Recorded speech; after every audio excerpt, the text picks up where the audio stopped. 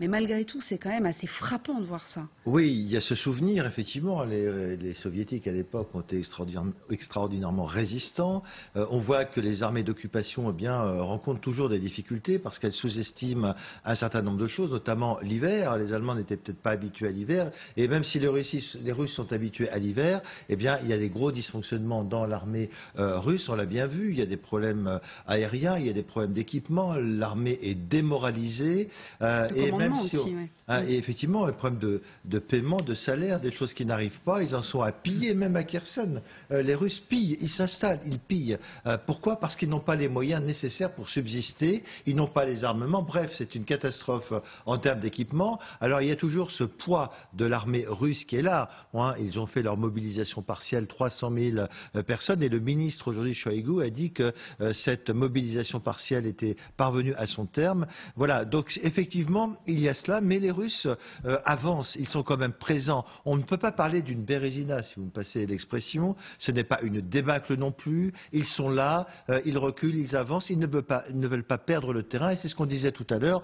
Euh, évidemment, si Kherson ne présente pas d'intérêt militaire stratégique, en revanche, politiquement, c'est très important. Et Vladimir Poutine ne peut pas se permettre de perdre cette ville qu'il avait prise en premier. Et en fait, l'objectif d'évacuation, c'est bien de prévenir la population qui reste qu'il va y avoir des combats de rue très très importants, hum, extrêmement euh, violents, sanglants, euh, et sans aller naturellement jusqu'à Stalingrad, euh, il faut l'espérer, parce que un million de morts, non, je pense qu'on sera un style en dessous, mais en tout cas c'est la méthode qui montre qu'il va y avoir des combats de rue. On parle de Wagner sur place, on parle de l'arrivée de troupes russes qui ont été mobilisées. Oui, il va y avoir des combats de façon très très violente. Les civils, encore une fois, vont être aux premières loges, et c'est pour ça en effet que Kherson représente un intérêt politique très très important. Et encore une fois, Vladimir Poutine ne peut pas reculer parce que c'est son propre pouvoir politique qui est en cause. Politiquement, ça veut dire quoi, Arlette Chabot, pour la communauté européenne occidentale et européenne? Avoir un nouveau Stalingrad à échelle de Kherson aux portes de l'Europe qui pourrait durer des mois et des mois, parce que tout le monde est d'accord pour dire que ça, Kherson ne reviendra pas aux mains des Ukrainiens d'ici trois semaines. Enfin, vous-même, vous nous le disiez tout à l'heure, Général, ça paraît peu probable. Mais ça, elle doit faire quoi l'Europe là? Il faut faire quelque chose. Surtout, tous les sujets, on peut se poser que doit faire l'Europe? D'abord rester unie, après on verra. Je voudrais juste dire un mot de, Stalingrad, parce que dans la référence permanente à l'histoire, évidemment, euh, de Vladimir Poutine, Stalingrad, c'est très important. Et, il en veut beaucoup, et il l'a exprimé aux Européens notamment, de ne jamais avoir remercié assez la Russie d'avoir justement tenu à Stalingrad, parce que c'est le tournant de la guerre. Donc il n'y a pas de reconnaissance. C'était pas le combat pour la Russie, c'était le combat pour le reste de l'Europe. C'est la même chose là. De, l'Europe en guerre, et c'est grâce à Stalingrad, effectivement, il, y a, un tournant de la guerre.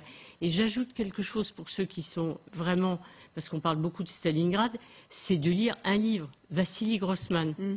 C'est un grand écrivain russe, Vie et destin, mm. voilà, qui raconte Stalingrad 1942-1943, euh, le livre se termine en avril 1943. Mm. C'est d'autant plus important que quand ce livre a été publié, il a été interdit en Russie parce qu'il a été accusé, Grossman, de montrer une image horrible de la Russie, de ne pas mettre, euh, enfin défaitiste et de, de ne pas montrer assez l'héroïsme, effectivement. Euh, donc il a eu beaucoup, beaucoup d'ennuis, l'héroïsme des Russes. Donc si vous voulez comprendre ce qu'est Stalingrad, il faut absolument, parce qu'on ne perd pas son temps, pardon de le dire, on n'est pas dans une émission littéraire, mais c'est tellement fort et tellement important que ceux qui ne l'ont pas lu doivent regarder. Ce livre interdit en Russie a été publié en Europe en 1980. Donc vous voyez que tout ça nous ramène on n'est pas loin, on est toujours dans la continuité de cette histoire. Cette idée du, rempart contre le... Alors là, c'était le nazisme. Le mal. Depuis le début, Volodymyr Zelensky et les Ukrainiens nous disent euh, aidez-nous parce que ce n'est pas nous que vous allez aider, c'est vous pour l'avenir à moyen ou long terme. Mm. C'était un peu la même chose, en fait.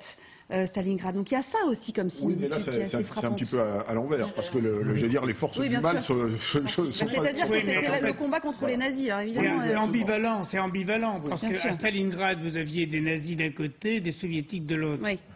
Alors qu'à Kherson, on s'accuse mutuellement. c'est ça. Les, les, les Russes accusent, les, Ukrainiens d'être euh, des nazis, et les Ukrainiens accuse les Russes d'être des fascistes. Mm. sauf que l'on dit aujourd'hui, enfin, on est quand même à peu près d'accord pour dire que la légitimité du combat appartient aux Ukrainiens, comme la légitimité du combat appartenait aux Soviétiques à l'époque. Donc c'est quand même à fond renversé. Et donc, euh, je, simplement sur euh, Stalingrad, vous avez tout à fait raison, Vie et Destin, c'est le guerre épais du XXe siècle. C'est magistral, il faut absolument l'avoir lu euh, une fois dans sa vie. Et donc ça, ça, donne une très bonne idée.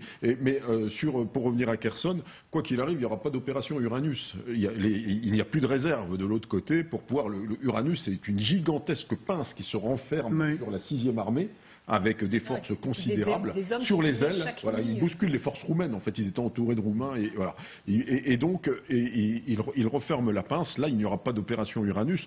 dans tous les cas de figure, à Kherson, euh, euh, Vladimir Poutine, il a une stratégie pertinente. Soit il laisse son corps sur, euh, sur, sur la rive occidentale du Dniepr, et à ce moment-là, ce corps, à un moment donné, risque de se faire étrier, voire plus ravitailler et capituler. Soit il recule et politiquement, c'est pas bon pour son pouvoir parce que il euh, c'est la négation euh, de l'annexion de l'oblast de Kherson et de cette ville qui était très très symbolique du point de vue russification. Oui, et puis aussi du point de vue de sa réponse, puisqu'on se souvient très bien quand il avait annoncé les annexions, qu'il avait dit quiconque attaquera le territoire russe verra ma réponse. Euh, voilà. Et, en l'occurrence, il y, a un changement dans le vocabulaire. Dès lors qu'il a annexé l'ensemble de ces territoires très officiellement, ce ne sont plus une agression militaire, ce sont des opérations terroristes.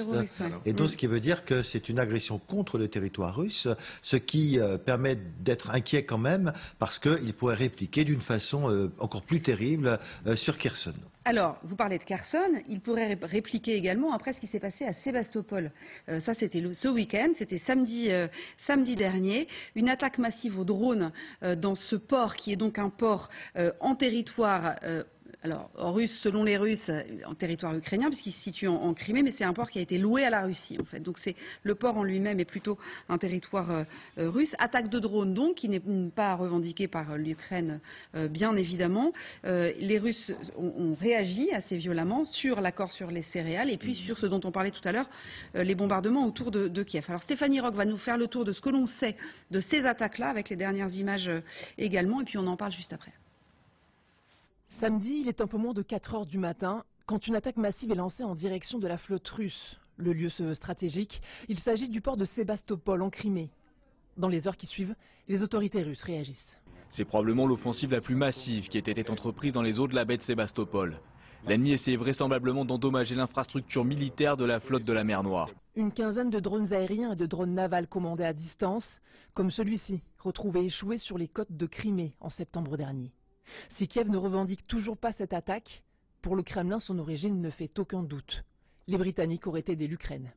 Pour détourner l'attention de sa gestion désastreuse de l'invasion illégale de l'Ukraine, le ministère de la Défense russe a recours à la diffusion de fausses allégations d'une ampleur épique. Il y a un mois, les Russes avaient déjà accusé Londres d'être impliqué dans les explosions des gazoducs Nord Stream. Il faut de, comment dire, d'accuser les Américains ce qui est toujours très compliqué, etc.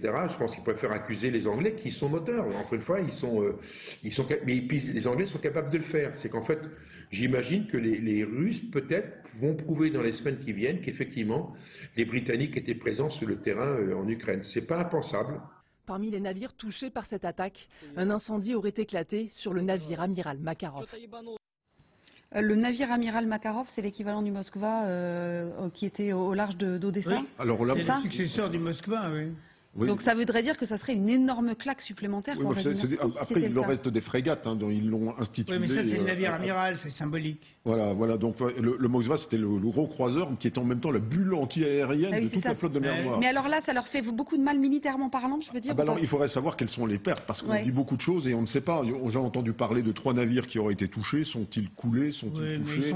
je, je, crois que c'est un peu. Ce qui est intéressant là-dedans, c'est surtout que la, la Crimée est C'est ça qui est intéressant. C'est-à-dire que le front est encore loin, mais... Sébastopol, on le voit sur la carte, c'est très au sud de la Crimée. Hein, et le pont de euh, Kerch et, et les cet environnement qui était protégé au début de la guerre, eh bien, depuis cet été, ils, tapent, ils tapent là, où ils veulent, quand ils veulent. Alors ce sont soit des drones, et puis maintenant on parle aussi de drones sous-marins euh, qui sont téléguidés et qui auraient euh, percuté les bateaux. Et donc la Crimée aujourd'hui est un objectif militaire qui est à portée euh, des Ukrainiens de manière quotidienne. Et, donc ça, militairement, c'est très, très, intéressant. Et ce qui permettrait à Vladimir Poutine, qui permettrait entre guillemets évidemment à Vladimir Poutine, à la Chabot, d'internationaliser le conflit en disant non attendez, vous êtes en train d'attaquer mon territoire, Sébastopol c'est mon territoire. Quand il dit bah, les Anglais sont sur place, c'est de la faute des Anglais parce que ce sont les Anglais qui ont aidé à piéger, etc. etc. C'est ça aussi? On disait mon territoire déjà à propos de Kherson, puisqu'effectivement mm. c'est annexé et il y a une bataille en cours. Donc euh, à chaque fois il peut dire mon territoire. C'est vrai que c'est le sanctuaire, la Crimée. Mm, mm. Si effectivement les Ukrainiens symboliquement frappent et, les objectifs sont particulièrement choisis, symbolique. Donc c'est vrai que là, et en même temps on l'entend dire à chaque fois qu'il intervient désormais, il est bien en guerre contre l'Occident. Il a tout le monde contre lui. Tout l'Occident est contre lui. Donc au fond, voilà, il y a les Anglais, il y aura peut-être mm. des, je ne sais pas, peut-être vont-ils fournir des images de, Britanniques en train d'aider les Ukrainiens, on ne sait pas. Mais c'est la guerre, la Russie n'est pas juste en guerre contre l'Ukraine, enfin en guerre, c'est-à-dire récupérer ce qu'elle considère comme son bien, mais en guerre contre l'Occident. Mm. Donc il est plus facile de dire ce sont les Britanniques qui nous attaquent. Oui, en fait, on ne sait pas grand-chose hein, sur ce qui s'est passé, parce qu'on est en train de dire, je passe sur le contrôle général, mais on nous dit il y a eu des attaques massives. Mais moi, j'ai entendu euh, le maire pro-russe euh, de Sébastopol dire que finalement, euh, les bateaux n'avaient pas été beaucoup touchés, mm. qu'aucune infrastructure civile n'avait été atteinte. En réalité, que se passe-t-il? C'est qu'on sait que depuis le début que Vladimir Poutine veut mettre un terme à l'accord céréalier. Donc il lui fallait absolument trouver un, un prétexte, une cause, et on est en train de dire, regardez, de toute façon, c'est même un missile qui est parti du canal d'où partent les, bateaux d'Odessa vers la Turquie d'exportation de céréales. Donc ce sont des prétextes. Parce que quand vous regardez la carte, eh bien Sébastopol, c'est quand même assez euh, à l'écart de ce parcours, de ce canal pour les céréales. C'est pas du tout à côté.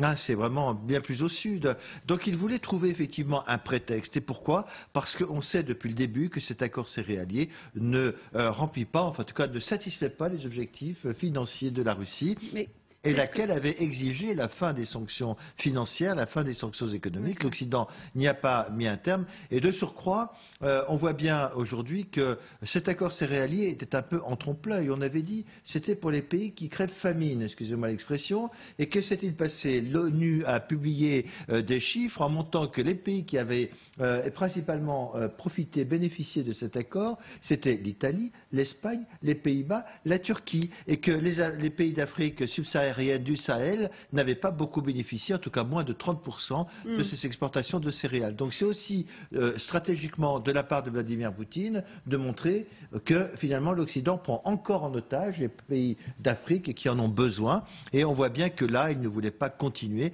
parce que ça ne remplissait pas en quelque sorte ses objectifs stratégiques. Objectifs financiers, dites-vous, ça rejoint un petit peu ce que dit euh, le ministre ukrainien des Affaires étrangères.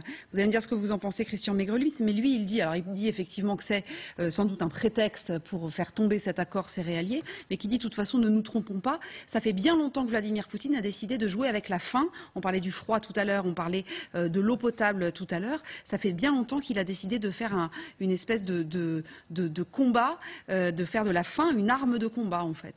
Vous savez, déjà en tout ce blé dont on parle, c'est du blé ukrainien hum. qui doit être payé aux Ukrainiens.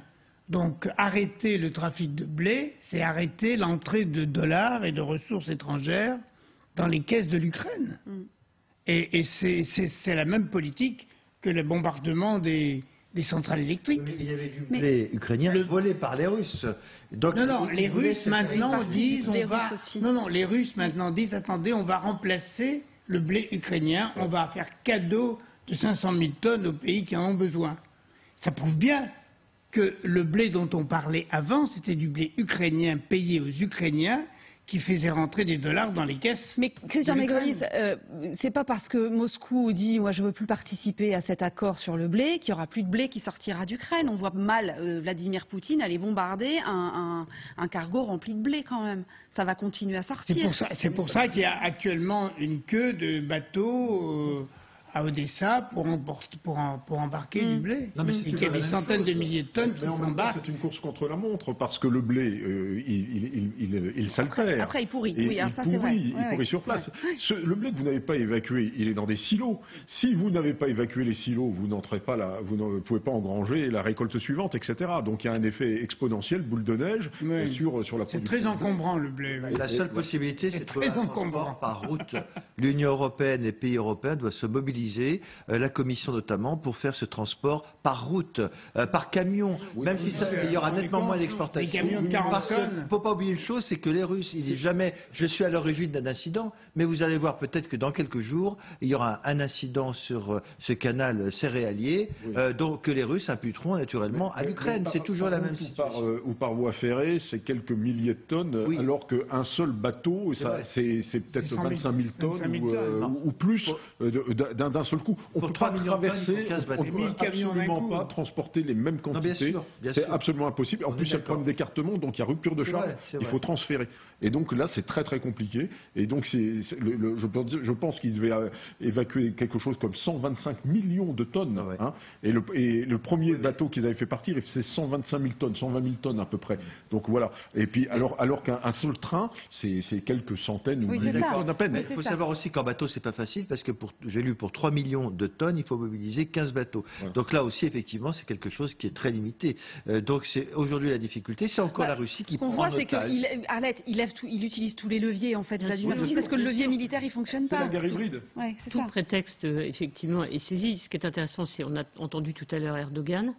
On, regarde en ce moment, on sait qu'il y a eu un contact téléphonique entre le ministre turc de la Défense et euh, le ministre russe de la Défense pour savoir comment, effectivement, on va sortir de cette crise. Mm. Je pense que Erdogan, l'homme qui a tous les jeux en main et qui joue toutes les cartes à la fois, aura très envie de montrer que son accord je remets des guillemets, j'adore toujours les guillemets, son accord, euh, puisque c'est effectivement c'est grâce à la Turquie que cet accord est intervenu, va pouvoir être prolongé d'une manière ou d'une autre. Sinon, il y avait une idée, euh, l'idée que effectivement Poutine voulait revenir sur cet accord, c'est qu'il avait l'intention, disait-on, s'il allait au G20, de remettre sur la table effectivement l'accord céréal. Donc vous voyez, tout ça est dans, le même fil. C'est ce qu'on mm. disait en se mm. posant la question de sa présence ou non euh, à Bali pour la réunion du G20. Et on suivra évidemment aussi cette, réunion à Bali. Ça va être évidemment très intéressant. Souvenez-vous que le, président américain avait dit euh, pourquoi pas, je veux bien lui parler s'il a quelque chose à me dire. Et puis finalement, il y avait eu un, petit retour en arrière quelques jours, euh, quelques jours plus tard. Alors pendant ce temps-là, comment réagit la population russe? Eh bien, manifestement, elle a l'air de soutenir toujours son, leader. C'est ce dont vont parler euh, David Pujadas et ses invités dans une seconde, dans 24 heures Pujadas, puisque c'est l'heure de leur laisser euh, la place. Merci à tous en tout cas d'avoir participé à cette émission. Je vous retrouve demain avec plaisir à 15h. Passez une bonne soirée. C'était votre programme avec Floa. Mini